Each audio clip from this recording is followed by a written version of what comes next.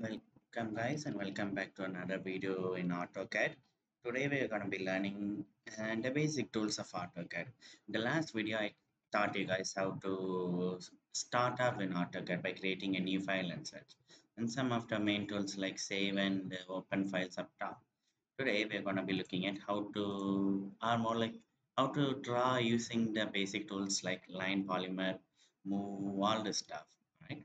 Uh, first up, before you start drawing, you should always check what your unit is.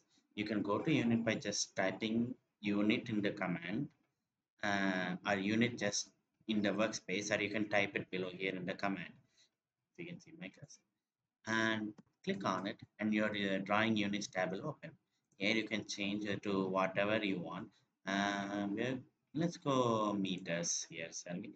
and yeah you can see what kind of decimal type you're using scientific cursor how much precision you need basically how long it's gonna go. And then just click on ok and it should save all right so let's begin. The first tool we're gonna check out with this the line tool.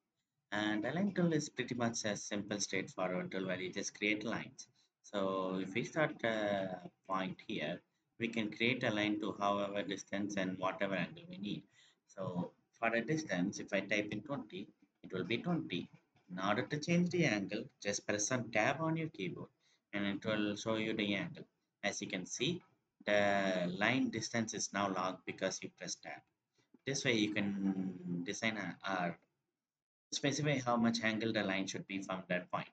So I'm going to uh, make this line a 30 degree angle and then yeah, just create a triangle basically.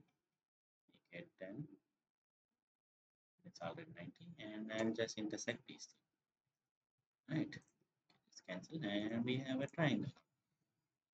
And this is how we use the line tool basically. Uh, of course there are other methods to like use the line tool and such. And there are some details like uh, snapping and such and snapping is nothing but just if you see here it's now like showing a green line a green box showing the endpoint so that is what we call snapping. It basically snaps to that point so that way you don't have to worry. So yeah uh, snapping from that line to this line since there's already a line that we're not creating. And if you want to create more snaps like middle of the uh, line or such turn on these settings below here. It basically turns on the settings where you need to mm, like snap on the line. Like if you want to snap on the midline uh, do you want it to be angular uh, stuff like that?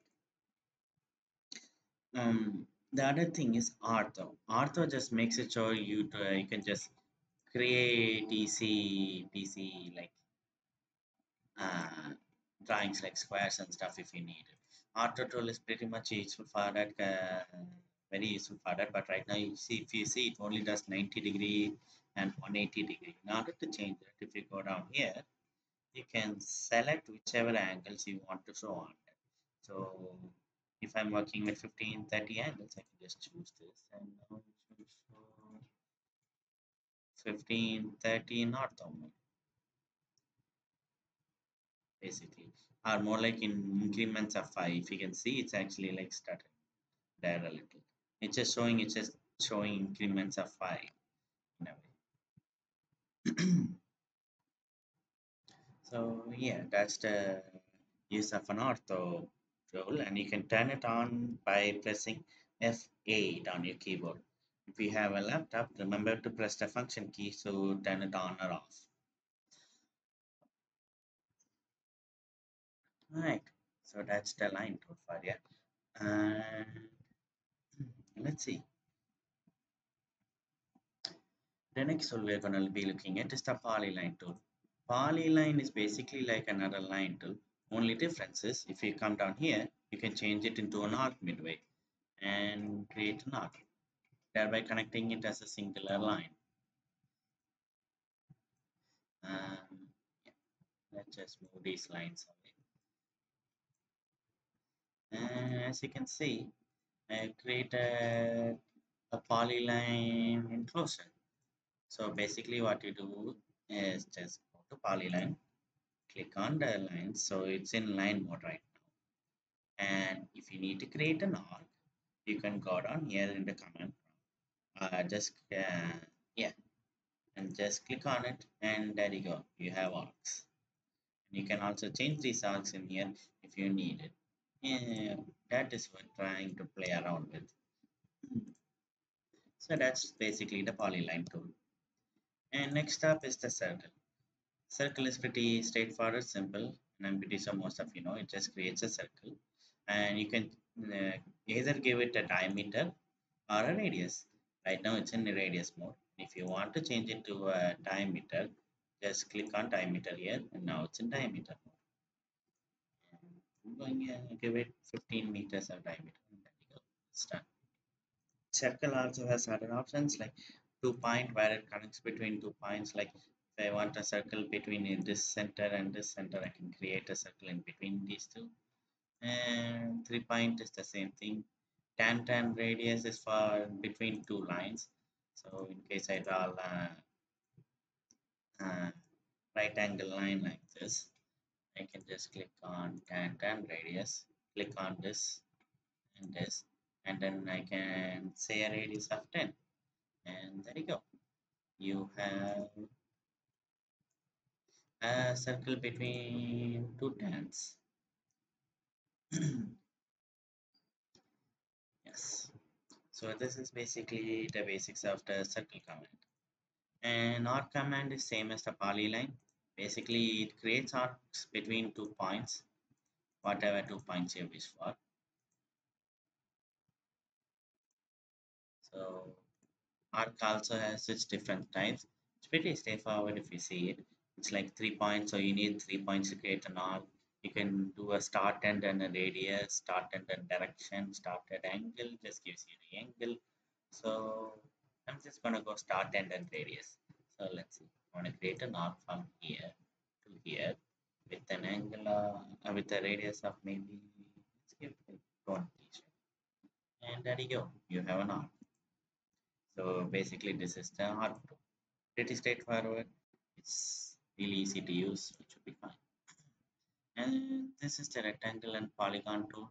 Rectangle tool is just a basic rectangle. You can just tabbing changes your width and height and you can create a rectangle like that. Polygon tool is pretty much the same too. Uh, polygon you can change the sides by clicking on the command and like typing what uh, how many sides you need. Like, let's say you need 10 sides plus enter. And then specify the center point enter you. You have a polygon with 10 points. So this is the polygon tool. Like the same way we also different other tools like elliptical uh, elliptical tool which like helps you create ellipse like if you can see and we can create ellipse like that. And we can like do partial ellipse as well if you need it. And then that and a starting angle here and a partial ellipse. You can create stuff like that. And hatch is nothing but just filling up a enclosure with a pattern or a texture. As you can see this uh, previous what kind of texture you want what kind of thing you want to see. And textures you can select from here and that's pretty much it. Um, you can select whatever texture you want and it will change according to that. Click on it and there you go. That's your hatch. You can just close it and done. Okay guys hopefully this was informational and helpful in any way. So you can you guys get a basic idea of what those tools are and how you can use them and hopefully i'll see you guys in the next one Thank you for watching. If you want to obtain a completion certificate, please click the link to our site. Sign up and choose the course level.